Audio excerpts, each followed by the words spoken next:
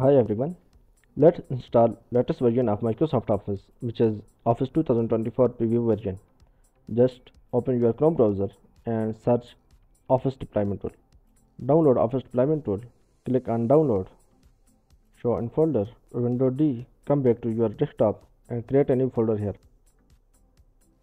Give it name Office 2024. Come back Office Deployment Tool. Right click on it and click on run as administrator. Click run. Yes and accept license terms click continue. And find your office 2024 folder. And ok file extracted successfully. Ok now come back to your office 2024 folder. Select first three file and delete them. Now come back to your chrome browser and open install office ltsc preview version which is given by microsoft itself to install microsoft 2024 preview version. Scroll down and copy this configuration. Come back to your folder. Right click on configuration and click open with and click notepad. Select these all delete them and press ctrl v to paste new configuration. And select from here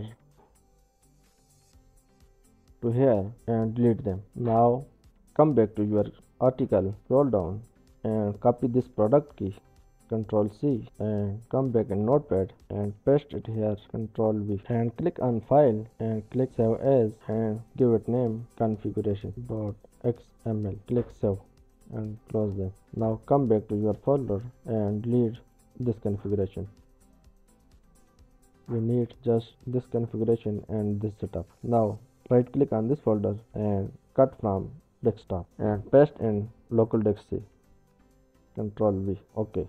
Now open this folder, Control C to copy path and come in search bar and type cmd.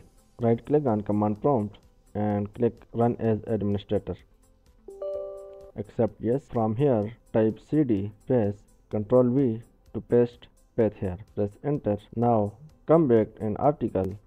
In article we have a command. Just copy this command and come back in command prompt and Ctrl V to paste here and press enter. Just wait to download. Installation is done. The Microsoft 365 and Office apps are installed on your computer. Okay, close this one and come in search bar and type Word.